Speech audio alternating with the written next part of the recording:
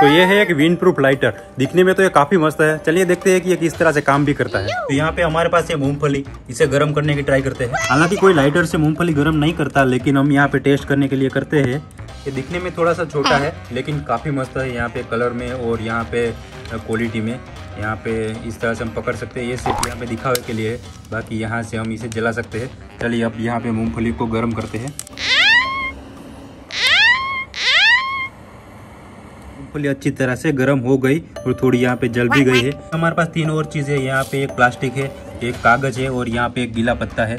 चलिए अब ट्राई करते हैं। इजीली मेल्ट हो जा